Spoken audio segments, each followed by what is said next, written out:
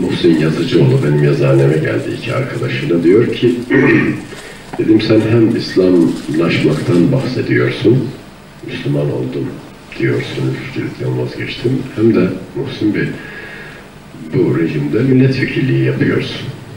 Ne kelime bu yani nasıl oluyor? Ben diyor başka bir şey düş düşünmüyorum. Niye dedim düşünmüyorsun? Bu rejim diyor bana bir takım imkanlar veriyor. Ne imkanı? Milletvekili olma, olma imkanı dedim. Bana da veriyor. Ama imkanı başında paralansın. Ben kabul etmiyorum. Sen niye kabul ediyorsun? Efendim bu imkanlardan yararlanarak ben İslam'ı getireceğim dedim. Hiç dedim kendimizi kandırmayalım. De ki ben milletvekili olmasam ne olurum? Sıradan vatandaş olmayı da ben istemiyorum. Diyorsun ayrı mesele. Ama milletvekili olduğumu rejimin adamı olursun. Çünkü o parlamento çatısı altında yasama meclisinin bir üyesisin. Kanun yapımına karşıyorsun. İslam'da meclisler asla ve kata kanun yapımına karışmazlar. Meclisler İslam'da danışma meclisleridir. Kanun yapma meclisi değildir. Dedi, ben öyle peygamberimizi anlattım. Bakın dedim Kureyş ona böyle böyle teklifte bulundu bilmem ne yaptı. Hatta diyorlar ki Kureyşler bak Muhammed diyorlar sen akıllı başlı bir insansın. Kavmimizin, kabilemizin şu Kureyş'in ileri gelen şerefli bir ailesinin çocuğusun. Beni Haşim mensubusun. Ama akıllı bir insansın da, emin de bir insansın. Fakat şu yaptıklarını biz aklımıza sığdıramıyoruz. Müşrikler söylüyor Peygamber'e bunu. Ne yapıyorsun? Kavmin, kabileyin ileri gelenleri olan bizleri bırakıyor. Sekiz tane köle, dört tane delikanlıyla düşüp kalkıyorsun. Hiç sana yakışıyor mu? Sana bakan da yanında sekiz köle, dört delikanlı gördüğü için onları adam yerine koymadığından seni de adam yerine koymuyor. Niye? Bizlerle anlaşıp, uzlaşıp da bizi yanında görenlerin gözünde adam yerine konulmak istemiyorsun. Sen bizimle anlaşır uzlaşırsan biz senin yanında yer alırız. Sana bakanlar da Kureyş'in ileri gelenlerini senin yanında gördükleri için herkes gelir. Ama sen böyle yapmıyorsun. Bu teklif gerçekten çok cazip bir teklif. İnsan dayanması güç bir teklif. Bu noktada allah Teala şu vahyi gönderiyor. Diyor ki seni sağlamlaştırmasaydık az daha onlara meyledecektin. Seni sağlamlaştırmasaydık az daha onlara meyledecektin. Arkasından gelen vahide diyor ki Kul ya eyyuhel kafirun Kafirlere de ki La abudu ma Ben sizin taptıklarınıza tapmıyorum. Sizler de benim taptığıma tapmıyorsunuz. Bu durumu böylece bir tespit edelim. Artı şunu da bilin ki bugüne kadar ben sizin taptıklarınıza tapmadım değil mi? Bundan sonra da tapmayacağım. Böyle bir şey ummayın.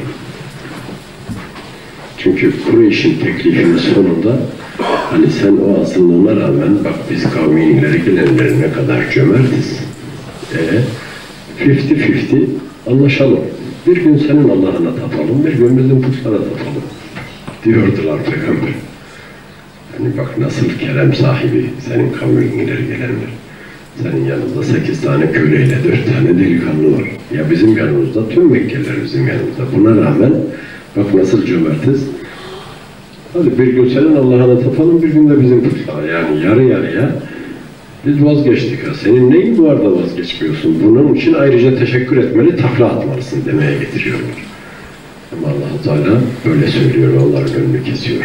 Diyor ben de ki onlara ben sizin taptıklarınıza tapmıyorum. Sizler de benim taptığıma tapmıyorsunuz.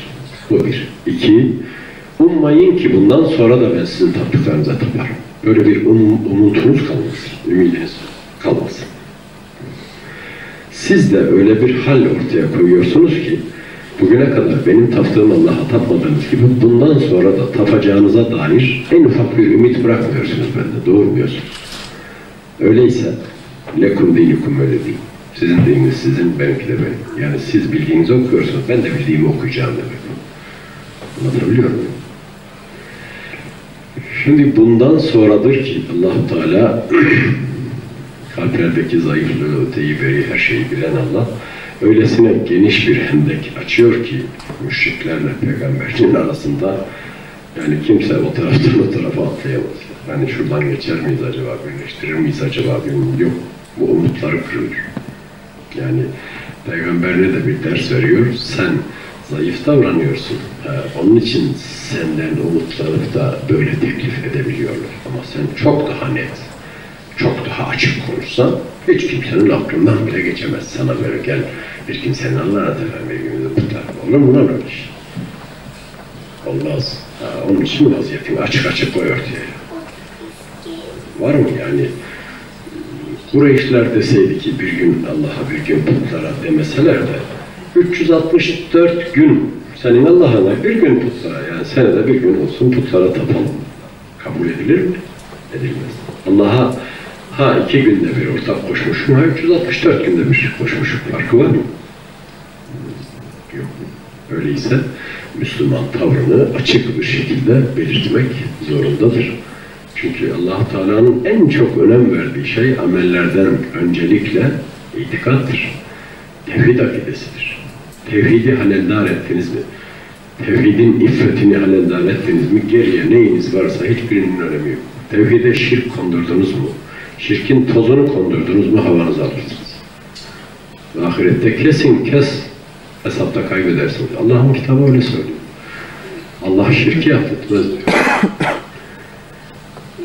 Adam öldüreni affetmez demiyor hiçbir şey. Bilmem şunu affetmez ama şirki affetmezle ilgili bu mealde birçok ayet var. Öyleyse Müslüman bütün yaptıklarının heba olmasını istemiyorsa, boşa gitmesini istemiyorsa akidesini tevhid esası üzerine kurmak